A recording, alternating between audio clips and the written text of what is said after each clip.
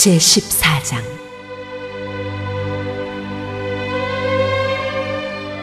압살롬이 예루살렘으로 돌아오다.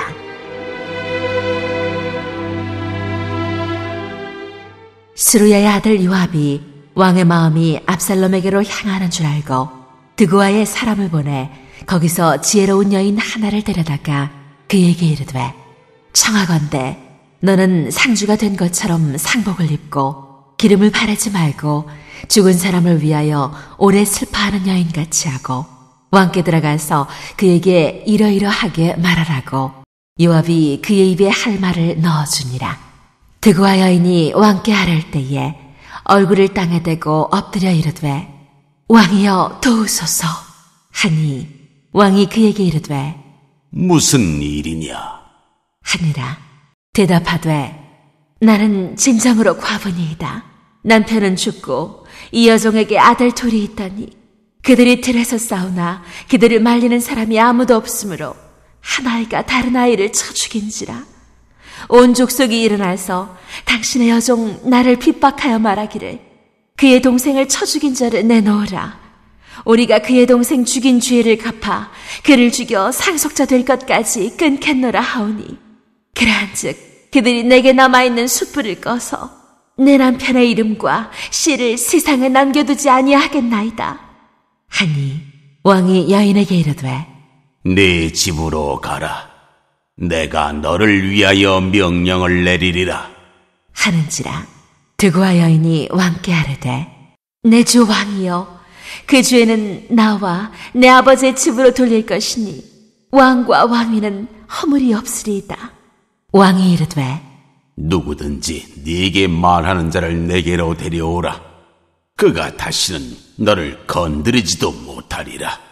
하니라 여인이 이르되 청하건대 왕은 왕의 하나님 여호와를 기억하사 원수 갚는 자가 더 죽이지 못하게 하옵소서 내 아들을 죽일까 두렵나이다 하니 왕이 이르되 여호와께서 살아계심을 두고 맹세하노니 네 아들의 머리카락 하나도 땅에 떨어지지 아니하리라. 하니라 여인이 이르되 청하건대 당신의 여종을 용납하여 한 말씀을 내 주 왕께 여쭙게 하옵소서 하니 그가 이르되 말하라. 하니라 여인이 이르되 그러면 어찌하여 왕께서 하나님의 백성에게 대하여 이 같은 생각을 하셨나이까 이 말씀을 하심으로 왕께서 죄 있는 사람같이 되심은 그 내쫓긴 자를 왕께서 집으로 돌아오게 하지 아니하심이니이다 우리는 필경 죽으리니 땅에 쏟아진 물을 다시 담지 못함 같을 것이오나 하나님은 생명을 빼앗지 아니하시고 방책을 베푸사 내쫓긴 자가 하나님께 버린 자가 되지 아니하게 하시나이다.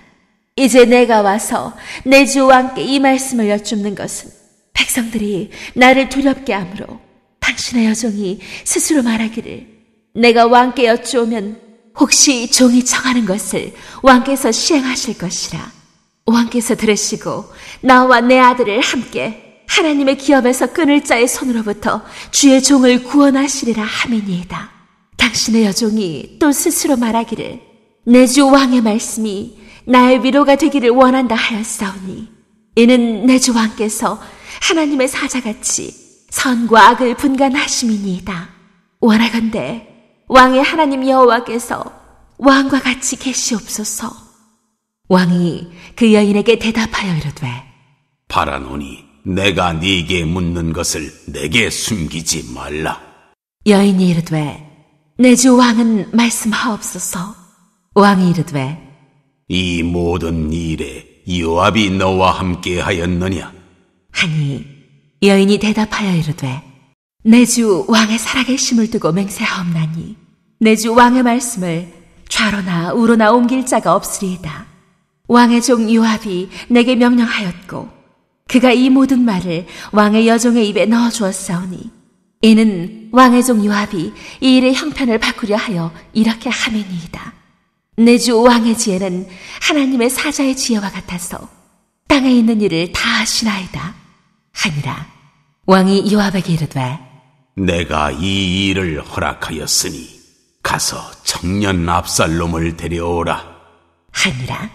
요압이 땅에 엎드려 절하고 왕을 위하여 복을 빌고 요압이 이르되 내 주 왕이여 종의 구함을 왕이 허락하시니 종이 왕 앞에서 은혜 입은 줄을 오늘 아나이다 하고 요압이 일어나 구슬로 가서 압살롬을 데리고 예루살렘으로 오니 왕이 이르되 그를 그의 집으로 물러가게 하여 내 얼굴을 볼 수 없게 하라 함에 압살롬이 자기 집으로 돌아가고 왕의 얼굴을 보지 못하니라.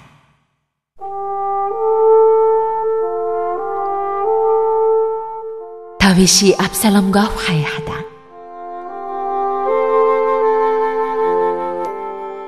온 이스라엘 가운데서 압살롬 같이 아름다움으로 크게 칭찬받는 자가 없었으니 그는 발바닥부터 정수리까지 흠이 없습니다.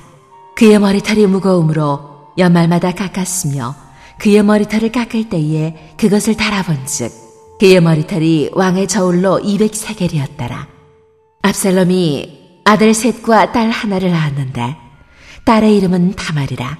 그는 얼굴이 아름다운 여자더라.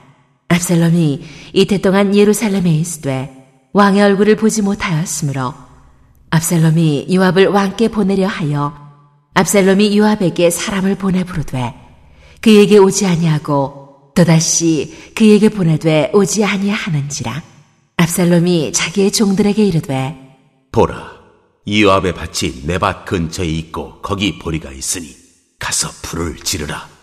하니라 압살롬의 종들이 그 밭에 불을 질렀더니 요압이 일어나 압살롬의 집으로 가서 그에게 이르되 어찌하여 네 종들이 내 밭에 불을 질렀느냐 하니 압살롬이 요압에게 대답하되 내가 일찍이 사람을 네게 보내 너를 이리로 오라고 청한 것은 내가 너를 왕께 보내 아뢰게 하기를 어찌하여 내가 그 술에서 돌아오게 되었나이까?